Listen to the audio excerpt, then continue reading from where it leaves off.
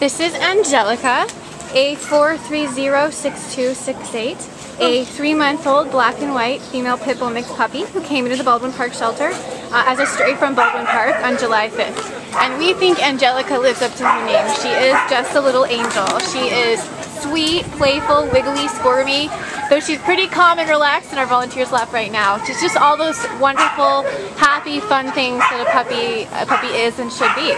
So Angelica weighs uh, 16.8 pounds at the moment, but she is quite young. She is going to be uh, quite a bit bigger, maybe close to 40, 50 pounds full grown.